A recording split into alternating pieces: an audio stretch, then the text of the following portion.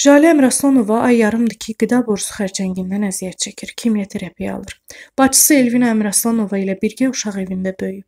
Avtizm sindromlu bir övladı var. Maddi çətinliklərdən dolayı tam müalicə oluna bilmir və Azərbaycan xalqından kömək istəyir. Təfərrüatlar video müraciətdə. Bacımla bir yerdə Şəki qarışıq tipli uşaq evində böyümüşük. İkimiz bir yerdə. Ondan sonra elə bir ki, Məşdağada oxumuşuq. 2 nömrəlidə. Sonra Qızıldaşa peşə məktəbi oxumaq üçün Qızıldaşda yataqxanada qalırdıq. Ay yarımdır mənim bacım e, qida borusu xərcliyinə əziyyət çəkir. E, biz həkimə göstərdik, ximiyada olundu. E, onkoloji xəstəxanaya getdik. Analizlər verildi hamısı və deyildi ki, qida borusunda xərçəngdir bunda. Uşağı bir evladı var, 6 yaşında oğlu, o da autizm xəstəsidir. Yəni heç bir şəkildə pensiya heç bir şəkildə almır.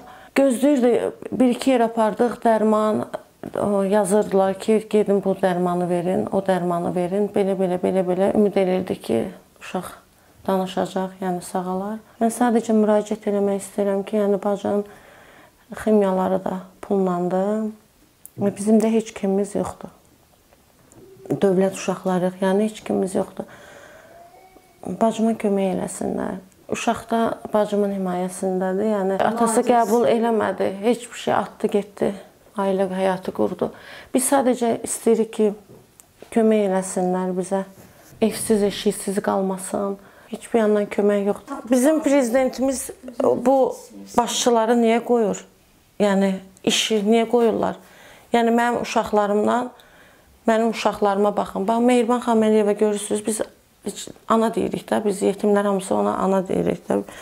Və görürsüz heç bir dənə e, necə deyim, autizm üçün necə məktəb açıb. Bizlə maraqlanan insanlar, yəni istəyir, kim istəyir olsun da, hər kəsin xəbəri olsun da, hələ nə qədər adamın xəbəri olub. E, e, yaxşı yerdə işləyən insanların da xəbəri olub ha.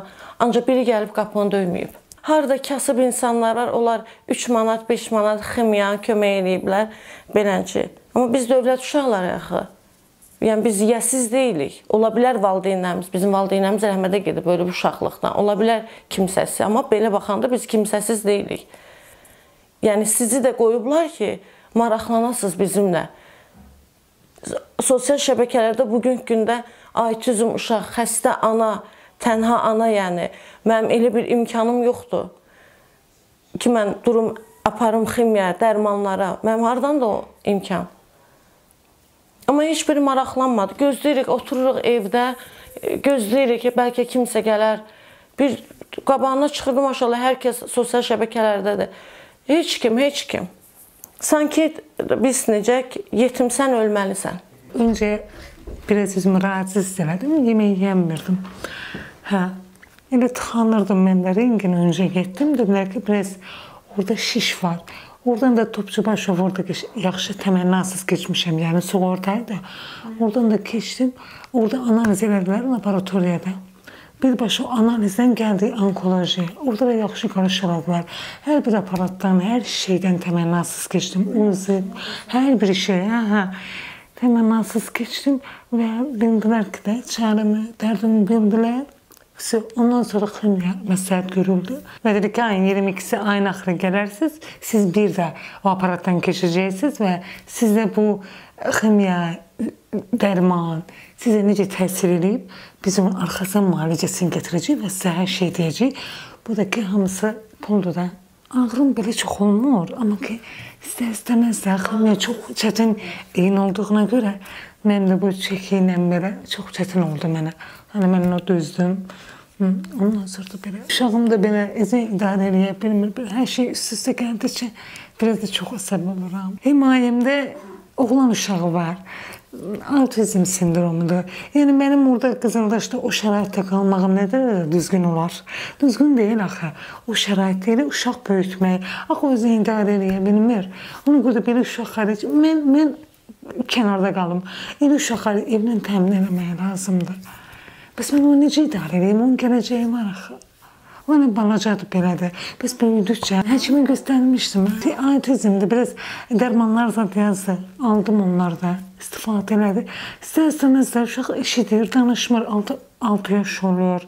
Belə autizm sindromu bir insana bağlı olur. O da mən onun anasıyam. Təbii ki, mənə bağlıdır. Mən sağlam olmalıyam ki, onun yanında olmağı bacarım. Ona baxa bilim, onu böyüdə bilim. Atası inkar elədi, mənim deyil deyə. Bağırdı, çağırdı. Rüsva elədi də, mənim deyil, mənim deyil belə. Ağlam, heç maraqlanmayıbdı, heç vaxt, heç vaxt. Müraciət edirəm ki, kömək eləsinlər. Kömək eləsinlər ki, bir yerə yerləşsin uşaq, yeri olsun. Elə şəraitsizlikdə böyüməsin. Mən elə o vəziyyətdə stresli oluram, əsəbi oluram. Bax belə də xəstəlik tutdum.